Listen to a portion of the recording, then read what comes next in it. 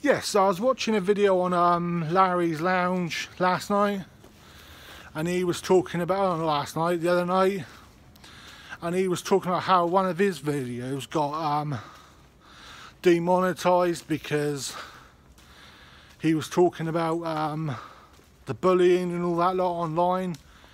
You know, to be honest, don't bully online because I used to. I used to be a bully in school.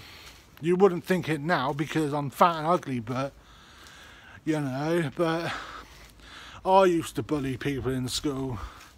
It wasn't very nice. Now I look back on it, you know, now I've got, I ain't got nothing to like prove myself, you know, but I did.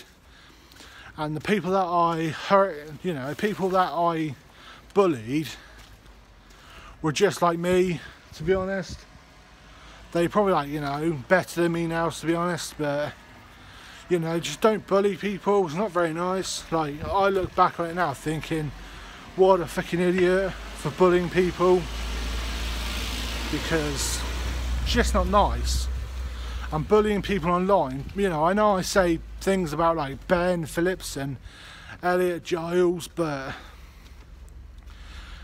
they're only bullying they're only bullying people online famous YouTubers because they won what like I won what um, Ben Phillips has got, you know, like G, a girlfriend like G, and a house and a car like he's got, and be able to afford these things. But at the end of the day, it's not going to work because Ben Phillips has Ben has worked probably like hard for his money you know. But we, you know, me, me included, I don't see that. I just think, oh yeah, some, you know, some idiot that's just made money off of like, off of Elliot, you know. But Ben's worked. Ben's probably worked hard for his money, so only they only like bully other YouTubers, like big YouTubers, or say stuff about them because they want to like be them, but they can't be them because they don't you know, but you know, just don't bully people. It's not very nice. So yeah, thank you.